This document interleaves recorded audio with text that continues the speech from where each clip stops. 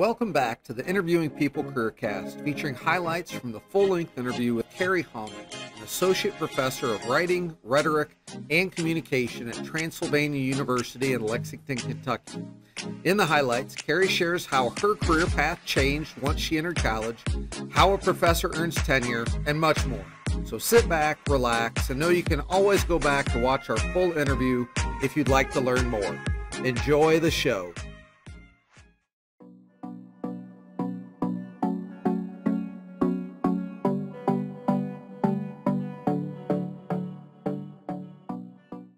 When I graduated Van Buren, I went to Wright State University and I started as a pre-med biology student in the honors program there. and I liked it all right. Um, I don't love blood. I don't love needles. And I actually couldn't vision for myself what it would look like to move into something within biology. I didn't, Wright State was a good school in a lot of ways. I did not have a relationship with an advisor as an undergraduate student.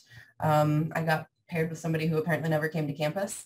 So I didn't talk through, I think if I would have talked through this with somebody at that point, they probably would have helped me think about a way to make that major and the careers that it could lead to work. But I had always been really torn um, between pre-med and English. So I was like, yeah, I'm just going to switch to English. Um, I love reading. I love writing. I love talking about reading and writing with people. So actually within my first year there, I switched to being an English major and I really loved it. The program that I was in had a couple different tracks. So you could do more of just a straight literature focus. You could do a professional and technical writing focus and you can also do a creative writing focus. Um, and you still got a little bit of all of the other classes, but I ended up taking the professional and technical writing focus um, and graduated in 2006 with my uh, bachelor's. And I had started working in the Writing Center when I was at Wright State. Actually, somewhat serendipitously. Um, if you got a certain grade in your like first year writing classes, you just automatically got a letter from the writing center director saying, hey, you might be interested in working at the writing center. Um, and I was. So I started working at the writing center and realized I really, really liked working with people to help them flesh out their ideas and think about what, you know, arguments they wanted to make or stories that they wanted to tell um, we didn't do a whole lot of digital stuff then, right. but, uh, you know, um, and so I knew that there were other people who were working in the Writing Center who were graduate students in a program at Wright State. And some of them were teaching some of the first year writing classes. And that really interested me.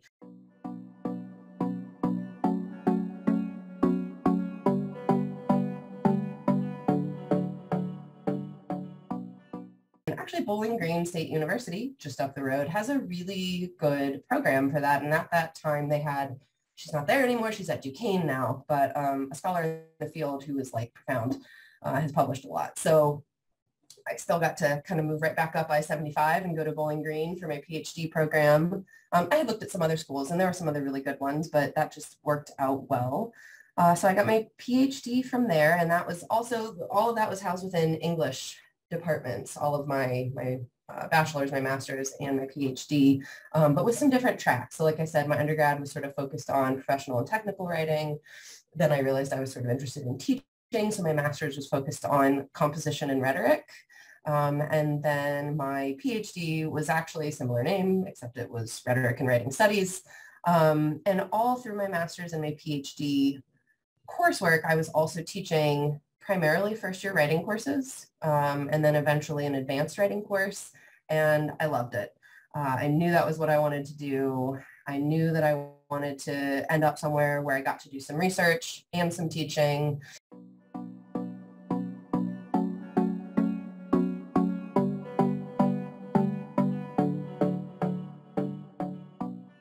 So on the one hand, it's a requirement, right? Like if you are going to be a college professor, almost undoubtedly you will be expected to do some research. There's a range of types of institutions and they have differing expectations. So if you're at a research intensive, which we call like an R1 institution, your research is going to be your focus. It's going to be the main thing that your, you know, the people who are above you and get to say if you stay there or have to go find a job somewhere else, that's the main thing that they're going to evaluate you based on. Um, and I really like research and I knew that it was an important part for me because it helps. I mean, I'm just curious. I'm really curious all the time to find answers to things. So research is my way of being able to do that. And that's for school topics as well as, you know, just like what daycare should my children go to and tons of research, right? Um, so I, I, genuinely enjoy it. Um, it informs my teaching. That's really important. Like I am lucky I get to teach classes that are in my research area. Um, and so when I go to teach digital rhetoric or when I go to teach feminist rhetorics or when I go to teach business writing, like there, I'm constantly keeping up with what it is that's going on in those fields and what the latest scholarship is. Um, and that's important for me to be able to teach those classes well. Um, I mentioned before that I did want to end up at a school where teaching was more of the emphasis. So at a liberal arts school, research is required, um, and that's good. I like doing it. Uh, but I knew that it wasn't going to be in the same way that there's the phrase of like publish or perish which within higher ed. Um, and it can be pretty cutthroat at some of the research intensive institutions. Um, you know, you have to have a certain number of books and articles and conference presentations and your, you know, citations have to be at a certain level that other people, you didn't just put the work out there, other people are actually reading it and using it. Um, and for me personally, I knew that worrying so much about that would detract from my ability to focus on the teaching as much as I wanted to.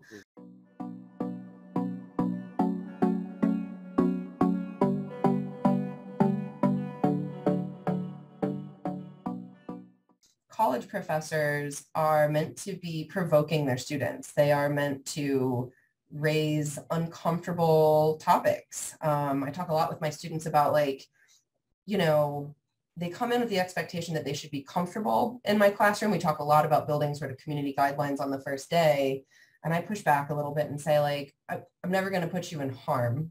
I never want you to feel unsafe but you will not always feel comfortable because we're going to talk about really difficult, challenging topics. Um, and that's really what higher education is about.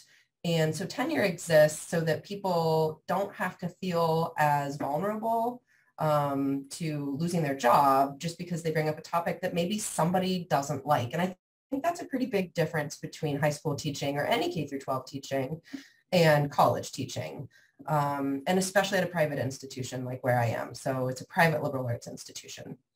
But generally, the process for tenure is the same if, if the position, there's lots of people who teach college who are not in a tenure track position. Um, that could be because they are just teaching a couple classes here and there at different universities, and that would be called an adjunct. It could be that they're in a part-time position now that there's all of these questions about whether or not tenure should even exist, there are positions like you're a lecturer, so you have some some job security, but it's not the same as tenure, and you don't have necessarily the same expectations to get to that point. Um, but so generally, if somebody is in a tenure track position, if they're thinking about wanting to be tenured, there are going to be three categories that they are evaluated on, and it will differ how important each category is and what the expectations within those categories are at each institution. Um, but it's teaching, research, and service.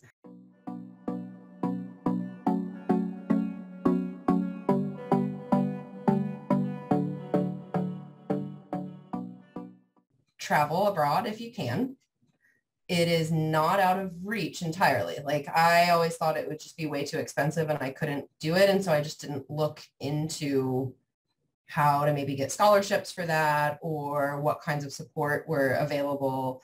Um, and so I actually didn't travel outside of the United States really uh, until I taught a travel course in Ireland in 2015. And the experience myself from the faculty side, but also then just seeing my students there um, I already before that knew that it was a big regret of mine that I never looked into study abroad, but that just really cemented it for me. So I wish I would have had a, a more just like something that my mom always says is like, why not ask? The worst that a person can say is no. And I think if I had had more of that attitude going into college and all the way through, um, I developed it a little bit more along the way. And I wish I would have had that a little bit earlier. Thank you for watching this episode showing highlights of the latest Interviewing People CareerCast with Kerri Hauman. And to make your Mondays better than ever, subscribe so you can hear more career stories from those who are actually doing the work. Thank you for watching, and as always, remember that the best part about Mondays is interviewing people.